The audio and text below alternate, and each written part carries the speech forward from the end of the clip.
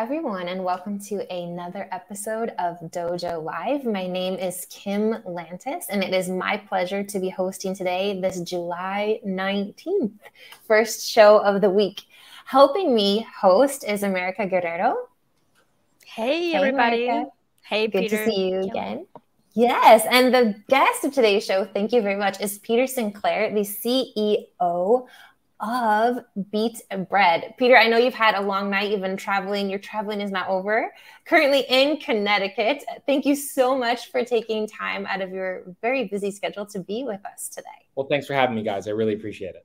No, our pleasure. We really look forward to learning from you and learning more about Beat Bread as well. Before we get into Beat Bread and the topic of today's show, we'd love to get to know you a bit better. If you could please tell us kind of your background, who you are, what your passions are, and sort of how this led up to where you are today. Thank sure. you. Sure. Well, I was born in Vermont in the woods, um, which is why I'm in Connecticut. I'm headed home right now to see my family. Um, and I ended up going to California uh, to follow a girl uh, who's now my wife and the mother of my children. And I never thought in a million years that I would ever work in entertainment. Um, I always thought I would work in startups. And I did that for quite some time. Um, but life threw me a curveball, and I ended up um, taking a break from startups and going to work in the uh, entertainment industry. And that's where I saw some things that led to what I'm doing today. So, um, uh, small town. I'm kid. sensing. I'm sensing a mashup here.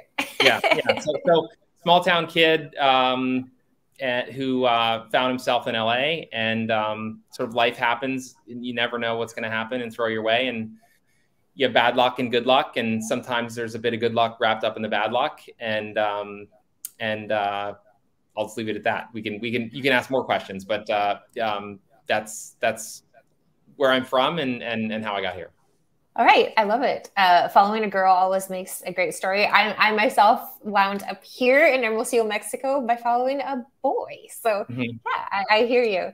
We can make a movie out of that. You know, you're That's in right. the right right area. Anyway, right. perfect. So let's talk about Beat Bread. I'm sensing a mashup somewhere between entertainment and startups. So who are you? What was the genesis of this company? What's the problem you're solving? Yeah. So BeatBread is a funding platform for independent musicians and independent artists. And uh, ever since the explosion of streaming, Spotify, Apple, Amazon, um, there has also been an explosion of independent labels and independent music. The share of total music consumption that is uh, produced by independent artists um, has gone up very radically. Um, a lot is written about that. What's not even written about is how the share of new music uh, not old music, is really dominated by independent artists. Um, so, you know, everyone reads about Taylor Swift and other people who, and you know, Macklemore and Ryan Lewis who uh, have stayed independent, and uh, Chance the Rapper. Um, the desire for artists to stay independent, both to control their careers, but also to own their music and get more of the economics, is up and down and across genres and we mm-hmm. serve that need. Um, we focus on funding and let artists uh, choose uh, the rest of, of their creative and uh, marketing partners. Nice, nice. So it's like a Kickstarter for music artists. Could it is. Uh, yes and no. So we're not a fan-funded platform. Um, okay. Everything we do is based on data science and and data. So my co-founder, uh, who's not on, John, um, runs actually the biggest group in the company. The most common job title in our company is data scientist. Um, and our every deal that we do is based entirely on data. Um, originally, our data model was built on uh, a data set of 100,000 artists, uh, almost 6 million tracks, and five years of historical data. All those numbers have now more than doubled because we've been in business for two years and we've acquired more and more data. But originally, um, I uh, took out my checkbook and and bought a very very large data set from a number of the uh, charting services around the world uh, that allowed us to build that model. It's beautiful. So it's like the best matchmaking possible. Uh, well, we hope so. It's it seems to All be right. doing. Well. Yeah, we um we're, cool. we do more than we do more than a deal a day. So there seems to be demand for um for our product out there. Congratulations. I, I look forward to diving deeper into that. And we will get that started specifically with the topic that you chose for today's show. What is that topic, America? Keeping together. How AI and fintech are putting music artists back in the driver's seat. And the question is why musicians have more choices than ever, thanks yeah. to data and technology. Fundament empowering a fundamental shift in financing creative projects. So please, could you share with us why is it relevant for today's show, please? Yeah. So artists today have more choice fundamentally because fan consumption has changed. Uh, less than a decade ago, um, uh, there's still, you know, certainly 20 years ago, but even less than a decade ago, most music consumption uh, was in physical uh, and downloads. Mm-hmm. And um, if you were an artist, if you wanted to get your music out in the world, you needed to work with a label who had privileged relationships with radio stations, who had the capital to manufacture physical goods. Um, and um, you sort of had to go through that system. With streaming, um, radio now is actually follows streaming by about six weeks. What's hot on streaming is what ends up on the radio. Um, so there's not a fixed number of slots anymore to make someone famous. Um, it's sort of like what's happened in television. Um, for those of your listeners who are a bit older, they may remember there used to be only three major uh, networks in, in the United States. Um, ABC, NBC, and who right. am I missing? CBS. Right. Yeah. So in 40 years, we've gone from three to literally 3,000. Yeah. And the shows that I watch on television and the stars who, if I saw on the street, I would be starstruck, are different than what you guys would see. And I, I wouldn't even recognize probably, you know, uh, what what you like, and you wouldn't recognize what I would like. That happened in music in about seven years. So the reason that artists have more choice, back to your original question, is streaming has democratized everything. You can get your music out if you're an artist, all of your songs on every major platform Amazon, Apple, Deezer, Spotify, in every major country in the world for about $20 a year. Um, marketing is now a digital marketing exercise. So it's not a specialized music marketing task. There are plenty of people who've learned their marketing chops, digital marketing across several different sectors. And so artists just have a lot more choice. Um, and we are letting them choose the best partners for them and just focusing on the funding. Exactly, because that makes a really interesting point. Because I'm thinking about this. A lot of what comes to my mind when I hear streaming is free, free, free, free, free, free, free, free, free, mm-hmm. or a whole lot for very little. And so mm-hmm. it comes to this question of how are artists actually able to make a living yeah. in a streaming world? So yeah. where how how how does that happen yeah. and so, what how can we maybe even answer the question of better supporting the artists that yeah. we enjoy well so the first point to make is that artists have never made more money from the recorded music at any point in history than right now and I know that runs counter to what the narrative that you see in the press, but if you look at the absolute dollars that are paid out to artists, that's higher than any other time uh, in the in the history of the music industry. So there's actually a lot of money in streaming. Um, what you read about, however, is that artists don't get their fair share. Um, and there's two things that are going on there. One that I would call legitimate, and one that I would call illegitimate. It's too hard a world, but I'll explain that in a second. So, the legitimate part of that gripe is that um, artists may be getting um, only five or six cents of the money that's collected in our deal because they've signed a label deal in the past mm-hmm. and the label keeps all the money. That's not streaming's fault. Now, the labels are very good at getting reporters to write about how someone had, you know, a billion streams on Spotify and only got a check for a thousand dollars. What they conveniently leave out is how much money the label made. So if an artist is independent and owns their music, they're going to get the bulk of that, not the label. So that that's sort of legitimate gripe. The other gripe, and that's there's been recent movement as recently as two weeks ago, is that the streaming services often don't pay the writers of music the share that they historically have gotten um, uh, when a when a song is performed. So those are sort of legitimate complaints, but they're really not the streaming services, mostly streaming services' fault. What I would call the illegitimate complaints and once again, that's I need a better word. That's not totally the right word. Uh-huh. Is that you can you can find a lot of artists, and they're typically artists that were popular in the 60s and 70s. Um, I'm just going to pick on Neil Young and David Crosby because I think they have great music. Um, uh, but they just say that the streaming services are garbage. They don't pay anything.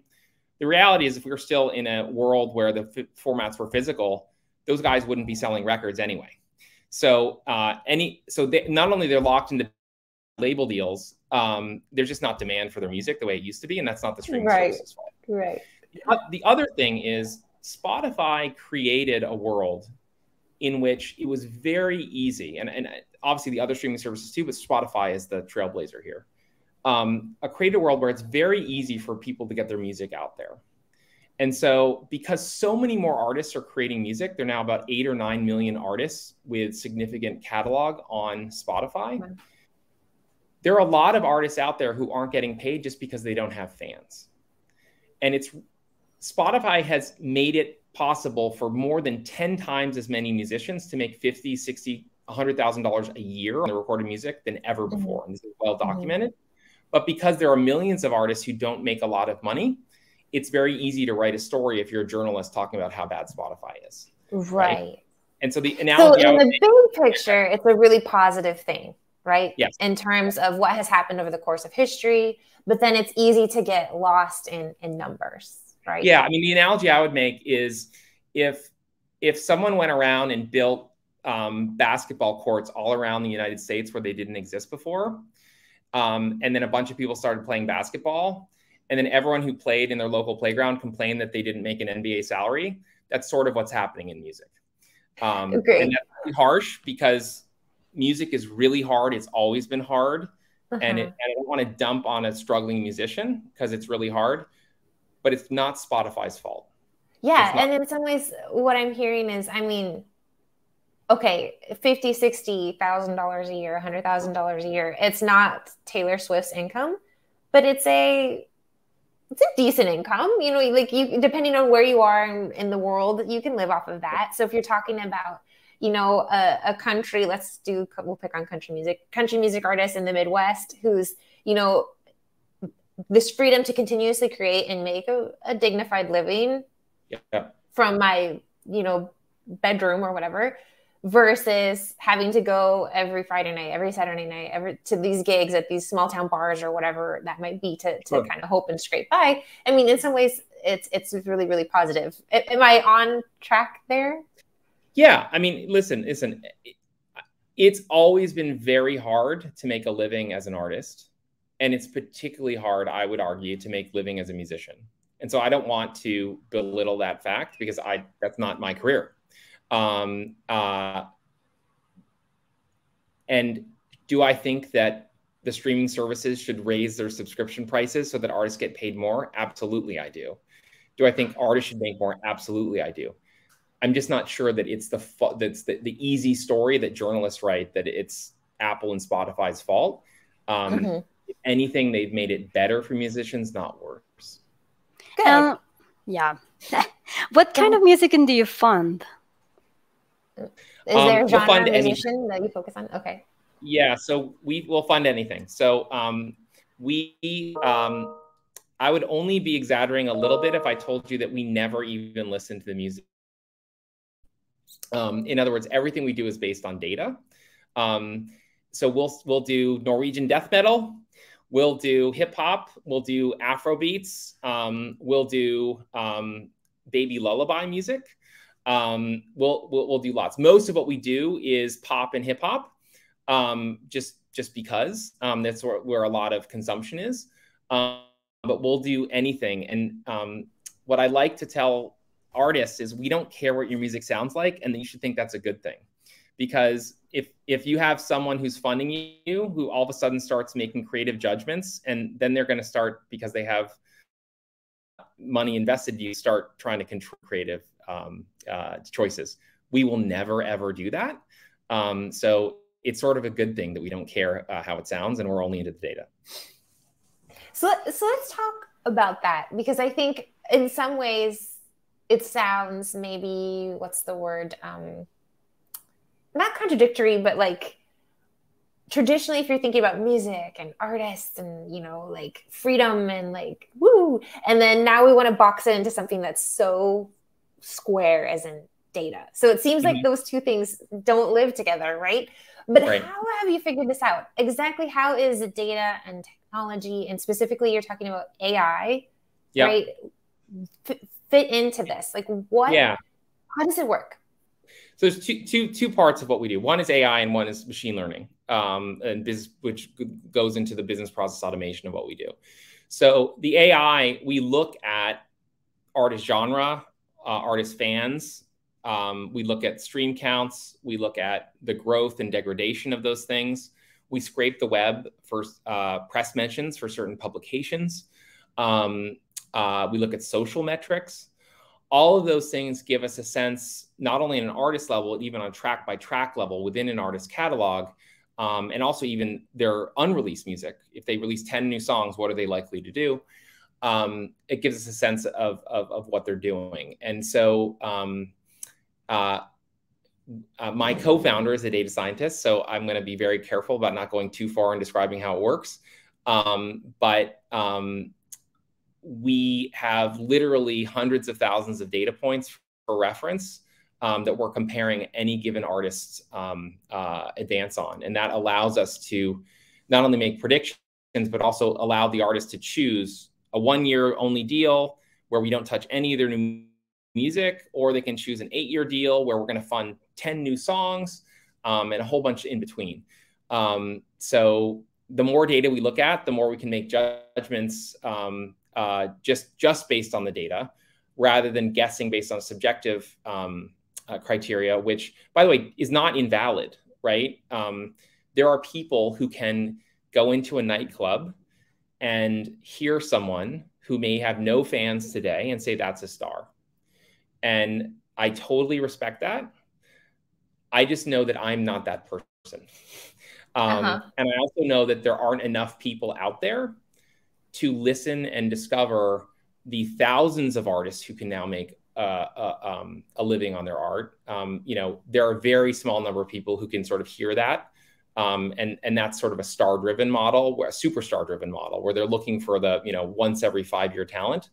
And um, you know, as I said, I signed four deals this morning, so um, we funded four new artists today. So that's you know the benefit of what we do, but certainly there are limits to it too. Of course. So it's like you're able to sort of hack the system, let's say, and mm-hmm. look at what's trending in the universe, what's trending with this individual, their creation, and make a, let's say, safe bet. Mm-hmm. Nice.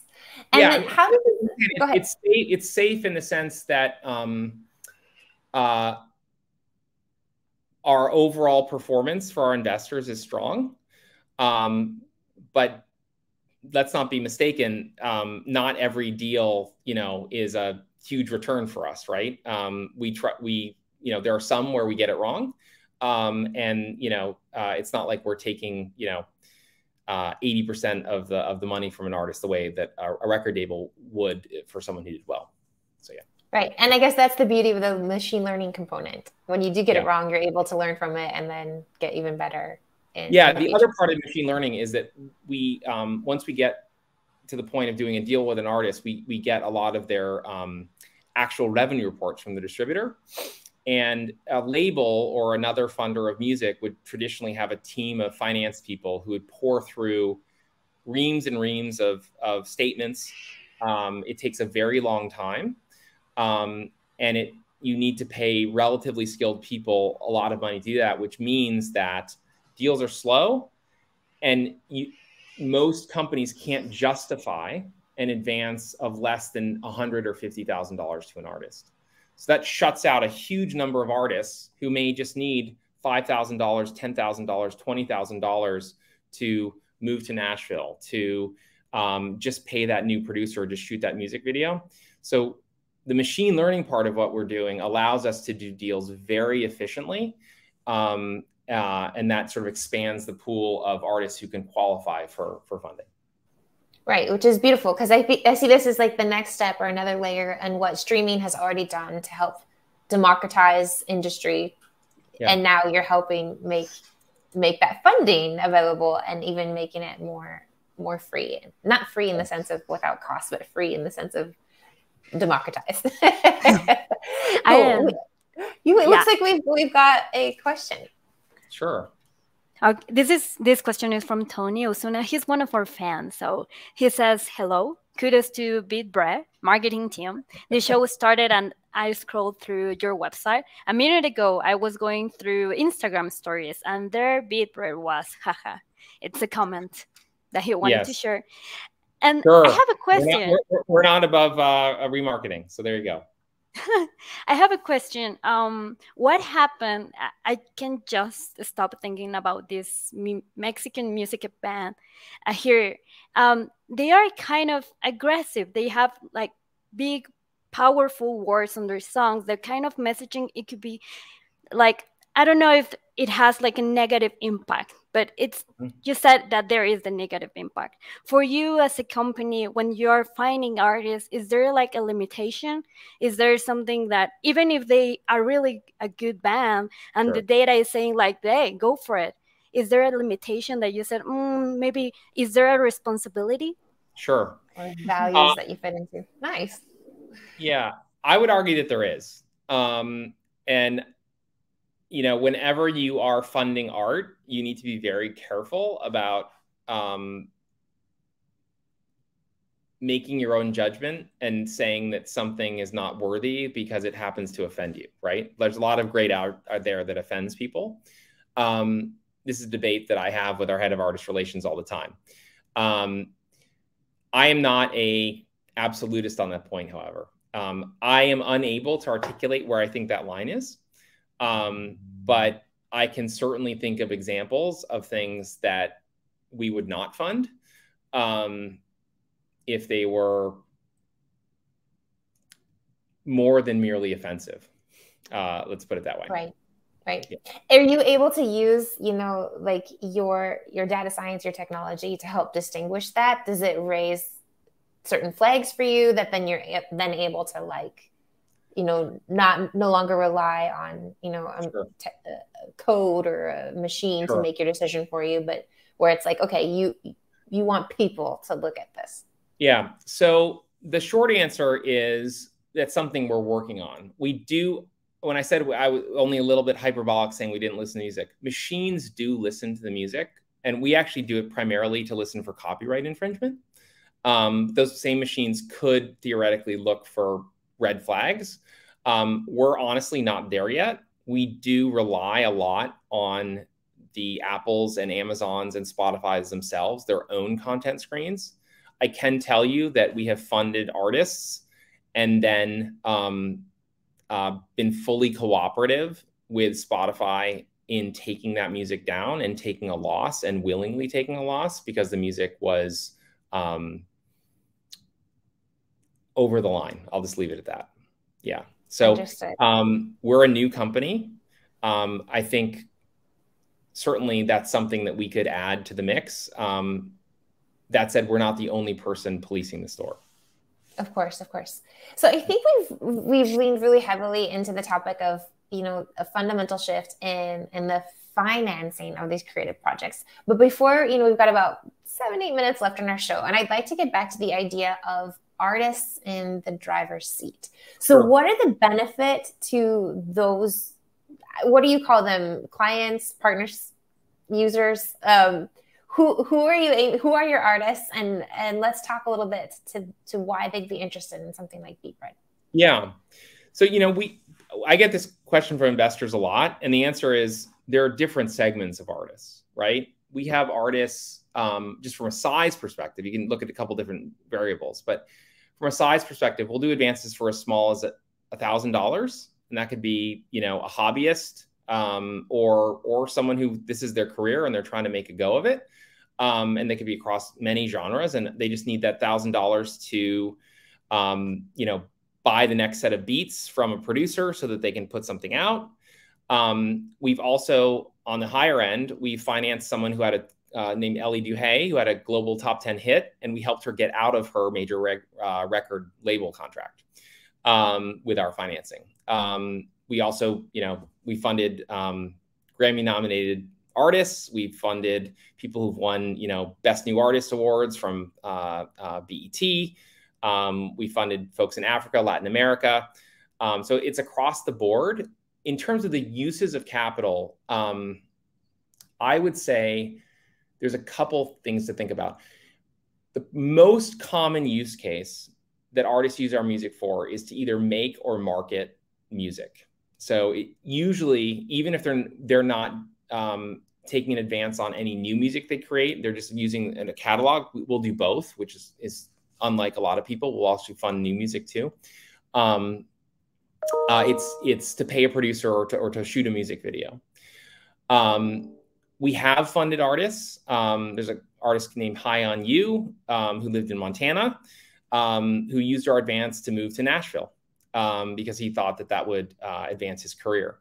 Um, there is a uh, sort of Tex-Mex country band, uh, country rock band called Giovanni and um, uh, what is Giovanni and the Oh my God, guys! I sorry, I, I uh, took the red eye last night. Anyway, um, okay. You're forgiven.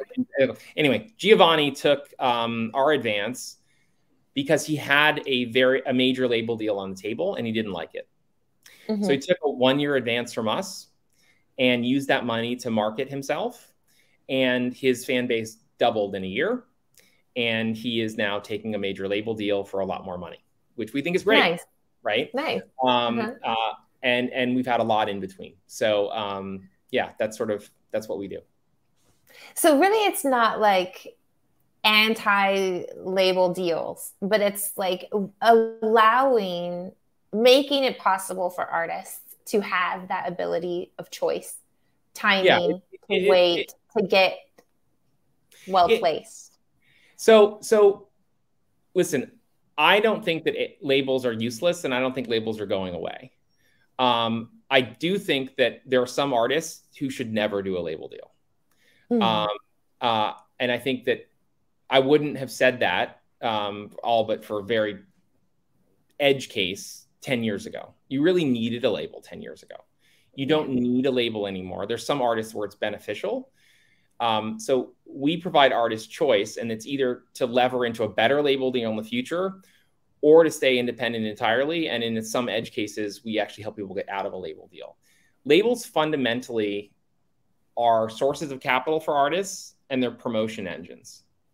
The problem in the industry is that artists have had to have the two married together, and they often are getting very bad economic terms historically in order to get that promotion. Mm-hmm. But because they can get promotion elsewhere now, labels sh- shouldn't be able to put such bad terms in front of them. And ultimately, I think that you're going to see labels compete on the, their ability to help artists create better music and artists to market music better.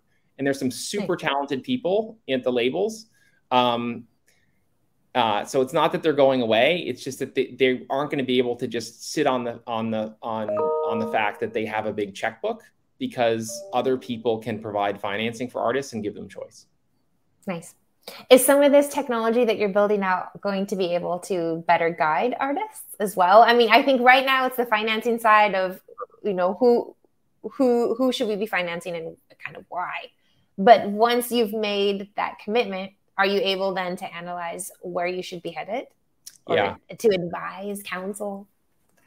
What you're describing is a very hard problem, but it is not something that we don't aspire to do. Um, okay. Right now, we're funding artists um, we have a lot of growth still to do in the sort of this basic level of what we're doing, but we have aspirations to use our data to help artists find the best partners possible. And there are marketing partners, there are production partners, um, there are a whole bunch of other uh, other partners. So um, we will not be doing that this year, um, but it's certainly within the purview of our vision for the company. Very cool. The it's just amazing that tech is limitless and I it's just yeah. Awesome. Now we are we really kind of at our last minute of the show and I would like to ask you about the name Beat Bread. Now I think sure. beat music that makes sense. Bread what's coming to my mind is just sort of this daily bread, the basics of making a living. Am I am I off base or on base with that? Yeah, no, it's very it's very simple. It, uh, it's it's beat music and bread like money. Um, beat bread. Okay. Okay, dough, I'm not right? that cool. I missed it. Right? Um, um, and then, but but the third point that's important is that the URL was cheap. So, um, so you know there are you know there there are alliterative versions where dough or cash right. or um, I learned a lot of um, euphemisms for for for money. For money. Um, okay. Dough I'm familiar with. Bread I hadn't heard yet. I'm not that hip. Right. Right. we could have been called song stacks as an example, um, or um, or uh, I can't remember what I had with dough. But anyway, I literally, uh, you know, at one in the morning was going through all the different variations of names that with um, euphemisms for money. Um, and it was really about the URLs that that I could buy for for you know less than twenty dollars as opposed to several thousand dollars. It's amazing how how many great names have just been bought by internet squatters. So. Oh well, you did great. I love it. beatBread yeah. is super catchy. Uh, where are you at? I know you said that you're a young company. Let's just real quick talk about your company culture. What are you sure. looking to build? Where are you headed? And and how have you, you know, kind of kept up with that or helped mold it, um, you know, knead it yeah. into what you want it to be? Yeah. So I think, and this is probably a better question for the rest of the company than me, but um, I think that we are structured in the way we approach our work, but we're pretty informal. We're somewhat we're non-hierarchical. Um, I um, I think you'd find if you talk to the team, um, we very much value dissent um, and people who disagree. Um, to get you know, it's not about winning an argument; it's about getting to the right answer. Um, and neither myself nor my co-founder are always right by any stretch of the imagination. Um, and so we, we, we definitely welcome that.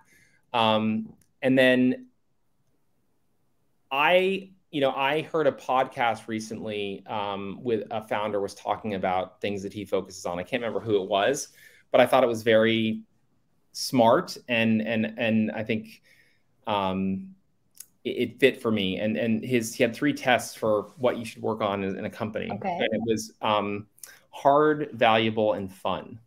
So if it's not fun, why do it? Um, if it's valuable, um, in other words, the product you create, people can use it. Um, if it's not valuable, why do it? If it's valuable but it's not hard, then a million other people will do it too, right? Right. If it's hard but it's not valuable, then you're just you know, that's just something for sort of, you know, a puzzle for puzzle's sake, right? right. And so I think that we're attacking something that's very hard. Um, I think it's definitely valuable, and we do our best to have fun with it. Nice. I love it. Well, thank you. Thank you so much for your insight today, Peter, your words of wisdom. We wish you and beatBread nothing but success as you move forward. So thank you very thank much. Thank you very much. And I really, I really appreciate the time. And thanks to, uh, to those of you out there who um, have taken the time to, to listen to, yeah. to us for a second. And if you're an aspiring artist or an established artist, doesn't matter, check out beatBread. Perfect. Hang on just one minute before we go off air. America, what do we got coming up tomorrow and Thursday? Yeah, so tomorrow we're going to have an interview with Surbhi Rathore. She is the CEO and co founder at Symbl AI. And we're going to talk about the intersection of machine learning and human conversations. How can businesses take advantage of the conversation data generated every day to unlock the next stage of growth? It's going to be tomorrow at 12 p.m. Pacific. Perfect. Well, we'll see you. We'll see you then. Thank you again, everyone. And until tomorrow, stay safe. All right. Thanks, guys. Bye.